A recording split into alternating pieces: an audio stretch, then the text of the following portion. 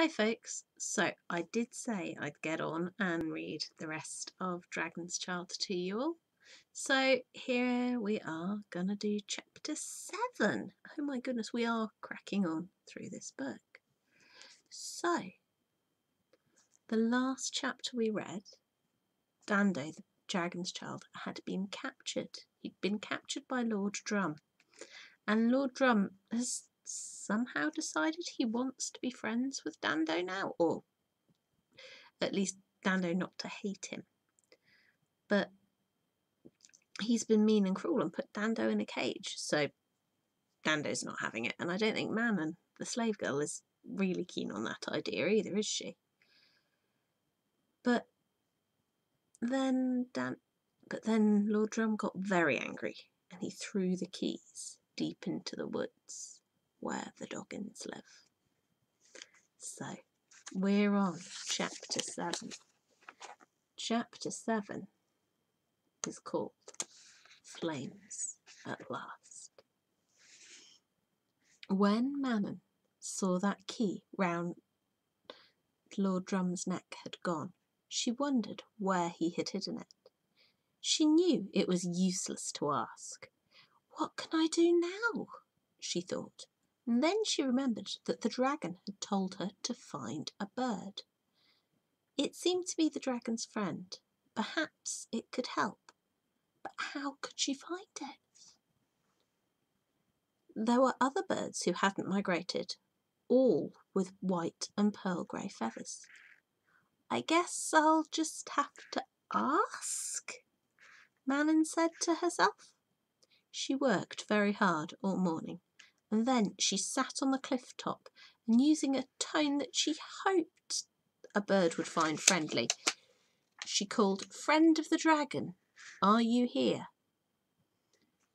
The seabirds took no notice. They carried on fishing and swimming and dozing as if nobody had spoken. I rescued a bird, Manon went on, so at least one of you owes me you their life. You could at least listen. Birds swooped and called and swung and fluttered, paying no attention. All except one, sitting on the ledge just below her. It shuffled uneasily and turned its head. It's you, said Manon. I know it is, so don't turn away. The bird hunched itself into its pearl grey feathers and gave a soft gurgle. It's no use, said Manon. You can't ignore ignore me.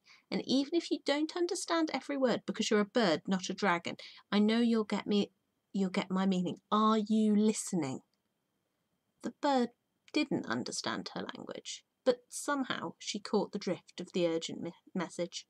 She knew the girl was talking about the dragon's child. I expect you think it's my fault the little dragon was caught, and in a way that's true. But you have to realise how I was feeling at the time. She leant close to the bird. When the Welkin people captured me, I thought that I would never come close to happiness again. I don't know what happened to my parents. The night we were invaded, I just woke up to find they had vanished. Maybe they were captured. Maybe, maybe not. I think my people have probably stopped existing. I'm afraid I'm the only one left. Manon glanced at the bird to see if her words were having any effect, but the bird had closed its eyes. Poor Manon. Manon sighed. Was the bird listening? It didn't really matter. She needed to tell her story, even if nobody heard. We knew the Welkins were coming, but we couldn't stop them. They came from the sky, from another world, in their airship, but their airship was blown up in the battle, and now they're trapped on Earth until they can find a way to build another. I think my father guessed what was going to happen. That's why he told me about the dragons. So if I survived, they wouldn't be forgotten. He said they'd all flown away and the world would never be the same because dragons are the last marvels the only creatures that can speak and understand our language, the only ones that still held magic. So when I saw a dragon, well, it gave me hope. There's a little bit of magic left, I thought, even if it is very small. But now the little dragon's in a cage, and he'll die there unless we rescue him. This time Manon stared hard at the bird, and the bird looked right back at her and gave a wheezy sort of titter. There's no one else, is there? said Manon. Just you and me. So we better get on with it. She got to her feet and waited to see what the bird would do. It didn't move.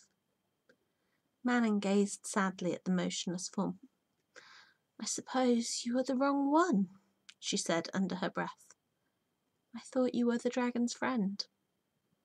And she began to walk away, wondering how she could rescue the dragon all by herself. There was a movement in the air above her, and she looked up to see the bird swinging through the sky, almost as though it were laughing for having tricked her. You didn't fool me, Manon cried happily.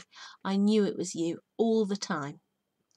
And she ran back to the camp with the bird swooping and gliding beside her.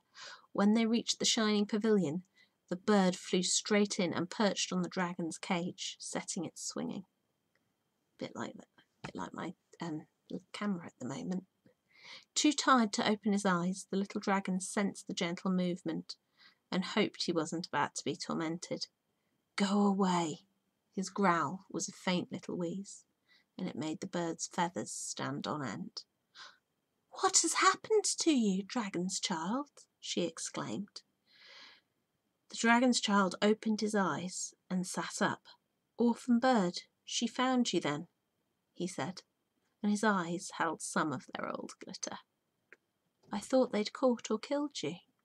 Not me, said the bird, forgetting to mention that Manon was the one who'd saved her. Dragon's child, you're not looking very good. You should be flying by now, or breathing fire at least. We'll have to get you out of there. The dragon's child sighed again. Tell me how, he asked. I know you're a clever bird.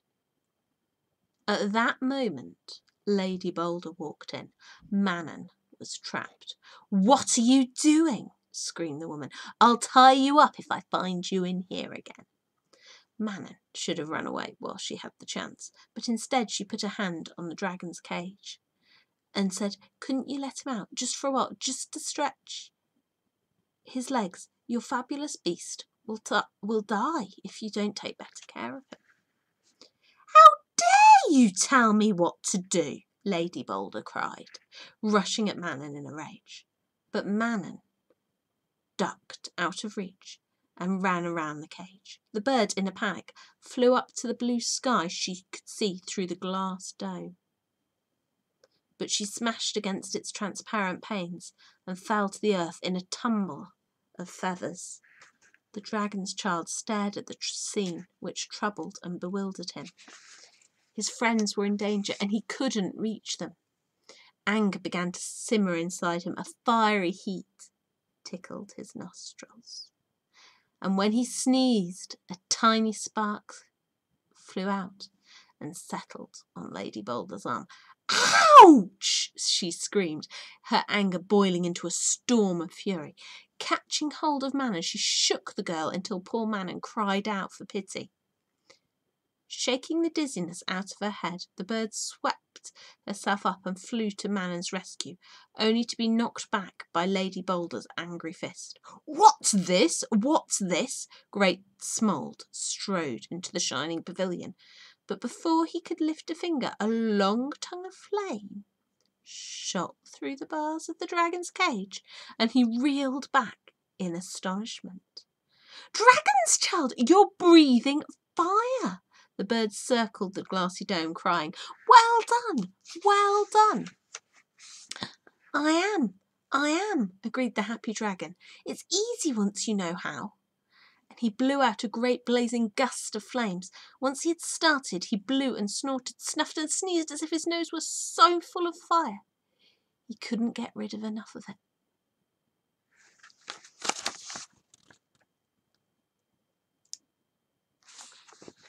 Great Smold edged towards the cage, but the iron bars began to glow and bend, and he couldn't touch them. You're free, little friend, cried Manon, struggling to escape from Lady Boulder. Just push your way out. Oh, no, you don't, growled Lady Boulder. She let go of Manon and ran to the cage, but the flames grilled her nose and she hopped away, screaming. The dragon's child put his head through the melting bars, scarcely feeling their burning heat. Next came sh his shoulders. Come on, urged Manon. The dragon's child wiggled and pushed, and with a fiery snort he leapt out of the cage. Got you! Great Smold pounced on the dragon, missing by inches. After him! he yelled, as Dando rushed to freedom. The Welkin people took no notice of their leader. This time they weren't interested in the flight of the fabulous beast, especially one so small. They had something else to worry about. A horrible howling that made their teeth chatter, their spines tingle, and their hair stand on end. It was coming from the forest. And that was chapter 7. Chapter 8 is called Doggin.